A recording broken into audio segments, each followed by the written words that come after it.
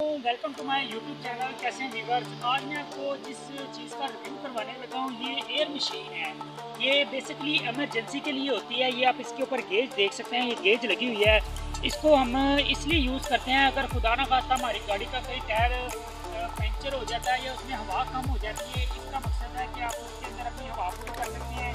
मेरे पास है ग्रेडिंग मौजूद है, मैं आपको इसका लगाने का तरीका भी समझाऊँगा इसको किस तरह हमें लगाना है और इसको हमें किस तरह इसके अंदर ये देखें, इसका बिल्कुल चार्जिंग बोर्ड की तरह इसके अंदर एक केबल होती है। इस केबल को हमें यहाँ से इसको निकालना है, ठीक है? इस केबल को हमने इस तरह निकाल के और इसको जहाँ पे हमें लगाना है, ये इसका, ये देख सकते हैं लेटर होल्डर की तरह इसका स्विच बना हुआ है।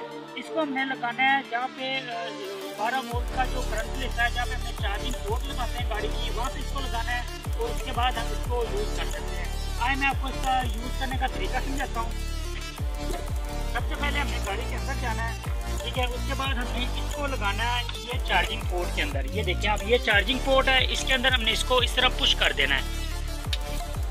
ये पुश हो गया, ये ला की आवाज़ आई है, ये इसका मतलब ओके हो गया है। उसके बाद हमने इसको यूज़ करना जैसे भी हमने इसको यूज़ करना है।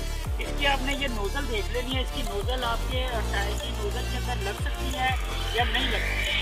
तो ये इसकी, ये देखिए, इसकी कार की स्पेस काफ़ी अच्छी है। और ये चारों पैरों में आपकी यानी कि पूरी तार है। उसके बाद हमने इसको यानी कि यहाँ से खोलना है। ये देखें ये खोलने के बाद हमने इसको इसके साथ मैच कर देना है। हमने इसको इसके साथ मैच करना है।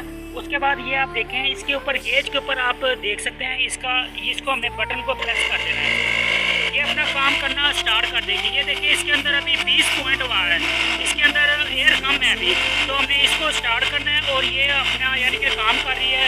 इस तरह हम अपनी गाड़ी के यानी कि टायर को भी चेक कर सकते हैं और इसके अंदर हवा भी पूरी कर सकते हैं। ये इसके अंदर हवा पूरी हो रही है और ये जब इसके अंदर जहाँ पे भी हमने अपना टेम्परेचर रखना है, ये देखिए इसके अंदर थर्टी फोर्टी सिक्सटी का टेम्परेचर आ रहा है। जितनी हमने इसके अंदर हवा रखनी है या हमने अपने टायर के हिसाब से तो आप इससे पूरी कर सकते हैं।